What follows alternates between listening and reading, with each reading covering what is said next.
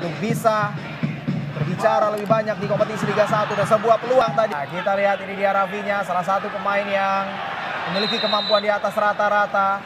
Sebuah tackling pelanggaran tadi harus dihentikan oleh seorang Alvin Tua Salamoni. Baik sekali kita lihat bagaimana true passing dilakukan terhadap Yudo. Dibayang-bayangi oleh Mecin. Yudo. Atau di kompetisi resmi. Jangan sudut sudah lakukan. Dituju Arema lebih banyak menurunkan para pemain lokal yang mereka miliki. Offside, Offside, sangat jelas tadi. Yudo kali ini sebuah peluang Arema Yudo.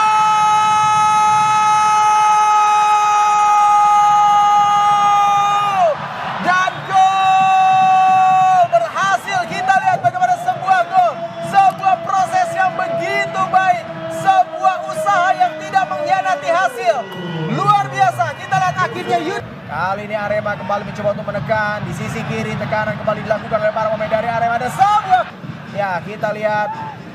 Sebuah umpan. Tidak offset sebuah shooting. Berikan bola kepada Ravinya kita lihat adu kecepatan dengan Alvin Tua Salamoni. Tekanan para pemain dari Arema. Dan sementara Yudo digantikan oleh Jonathan Bowman. Ya, Ya. kali ini tidak dengan kearifan lokal ya. Tidak kita lihat. Mecin juga membantu lini depan dan sebuah dan gol!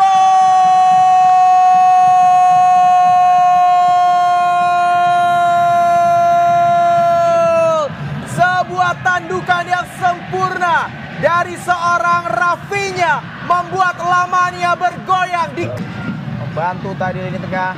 Dan kita lihat sebuah syuting keras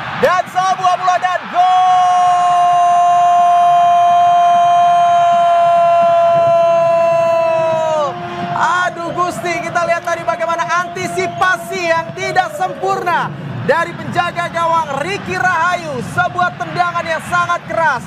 Bola rebound yang akhirnya berhasil dimanfaatkan oleh Jonathan Bauman Friska Womsiwar masuk kali ini. Menggantikan Ahmad Mustoif Alvin baik sekali. Satu dua gagal tadi. Musim ini harus berbeda situasinya. Jangan bebas, sudah lakukan. Nurdiansyah berikan kali ini kepada Johnny Bauman. Sebuah syuting keras dan mengganti dengan komposisi pemain asing pilihan dari Mario Gomez. Ya, kita lihat cukup menjanjikan sebetulnya. Momentum sehingga bola menjadi liar dan berhasil direbut tadi. Ya, kita lihat sebuah pelanggaran tadi. Berikan pendek 1-2 cukup baik. Langsung ya, tidak ada Ahmad Bustomi. Nakamura kali ini akan menjadi eksekutor sudah lakukan. Kembali Nakamura. Om Siwor di sisi kanan. Ya kita lihat si Nakamura, Sunsuke Nakamura. Di sisi kanan ada Om Siwor di sana. Crossing dikirimkan dan sebuah. Kali ini pemain nomor punggung 9 dari Persela Lamongan. Di Runtung tadi masih bisa diantisipasi dan